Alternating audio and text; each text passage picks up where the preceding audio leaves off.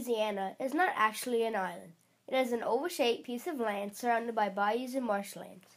The island is full of beautiful vegetation, animals, a salt mine, and is home to the Tabasco factory. Another important but less known product, spicy and full of flavor, Katherine Avery emerged from here as well.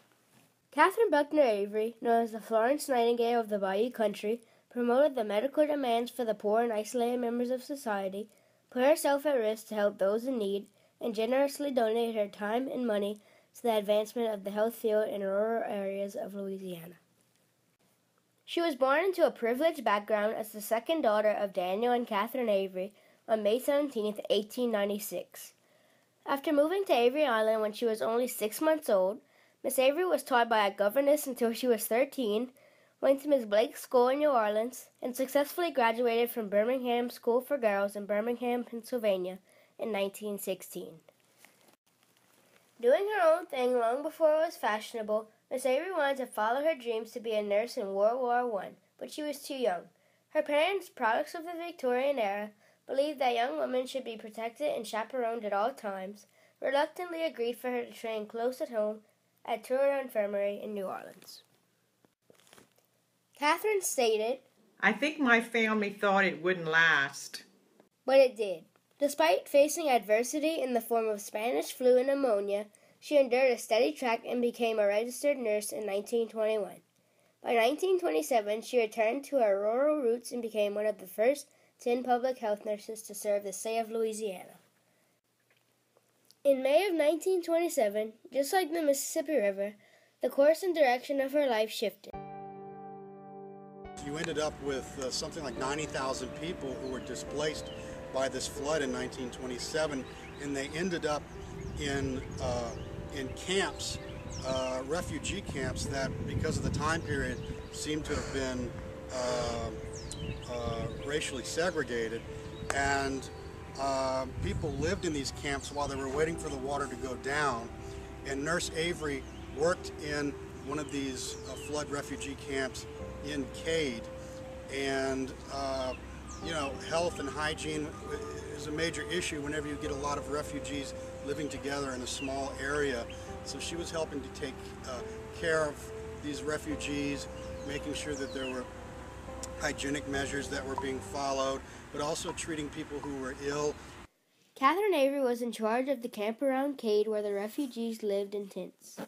She insisted that medical care should be prioritized by need, not by race, which was a revolutionary idea in those segregationist days.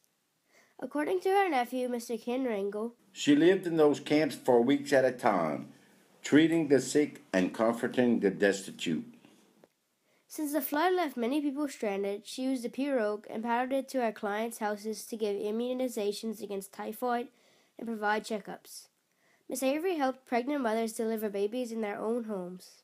Once the flood waters receded, Miss Avery continued to keep civilians healthy by helping to reestablish sanitary living conditions. After the flood, she went before an all male legislature to ask, ask for funding to help the flood victims. In the years that followed, Miss Avery became known as the Florence Nightingale of the Bayou as she continued to inoculate children in the rural areas who are unable to come into doctors' offices and clinics for their shots. Miss Avery stated, Old people were frightened of needles. If a disease came along, you just survived it or didn't. We worked very hard to gain people's confidence in us so that we could immunize both parents and My name's Elaine Griffin, and I had a personal experience with Miss Avery. In 1933, my grandparents were living on Dale Street, New Iberia. My mother and I were visiting them one day, and she said, Elaine, let's go to the grocery store. Now, the grocery store right across the street.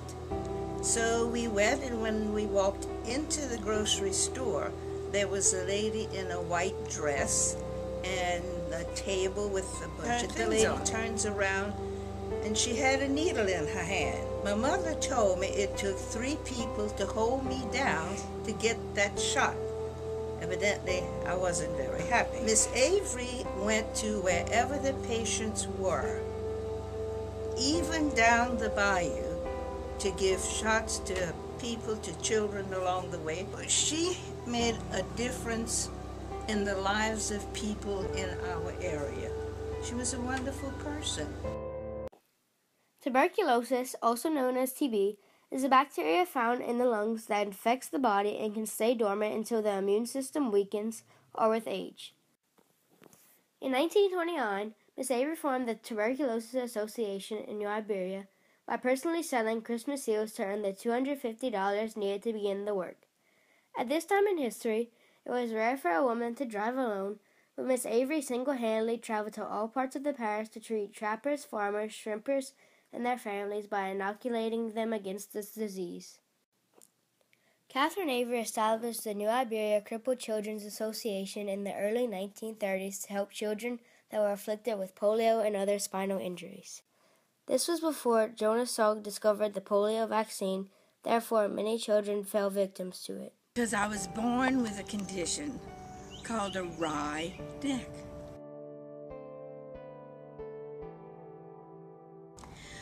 Well, someone told my parents that I could get that fixed for free if I went to New Iberia, to the courthouse, to a place called the Iberia Crippled Children's Clinic, which had been organized by Miss Katherine. So my daddy brought me there, and I remember the room was full of children who were much worse off than I was. There were some in wheelchairs. There were some in crutches, and there were some in their mother's arms. As a result of birth defects or a disease that was very popular then called polio, I felt like I was in the wrong place. These were people who really needed to see the doctor. Miss Avery must have been somewhere in the background. I remember a lady buzzing, buzzing, buzzing. Eventually, I saw the doctor I was in New Orleans. First thing you know, it was so quick. The doctor evaluated me. He put Miss uh, Avery found transportation for me to get to New Orleans. It was a miracle for me. Once a month for 50 years that she started, and those children would come in crippled. It was called the Iberia Crippled Children's Clinic and they would be in this process for a short period of time. And then they would be miraculously cured as a result of the skills of these wonderful physicians and this program. And so I want you to imagine behind me a thousand people, two thousand, I don't know, benefited from the program that she established in the 1930s. I heard of one case that a family's child was going to have surgery, and the mother didn't have a washing machine to wash the sheets. And Miss Avery saw that condition, and she did nothing but come to town, make a phone call to a person she knew could afford a gift, and a washer was sent to their home so that that child could have a nice bed. That's the kind of gift that she gave to the children of Iberia Parish. And I'm just one, and I got this much of her charity, of her leadership, of her generosity. She was a true humanitarian. She saw a need in the people around her, the children around her who were crippled. And she said she had to do something about it. And she did hundreds of things and I want the world to know what a wonderful person she was and how many people benefited from her being part of Iberia Parish's health and wellness.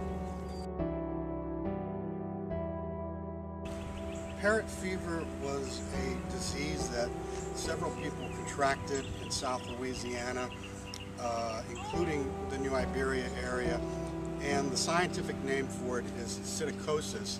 It's caused by a bacteria that's transmitted from birds to humans, and it's it's it's pretty lethal. Uh, the the mortality rate, if you caught the disease, was uh, 50%.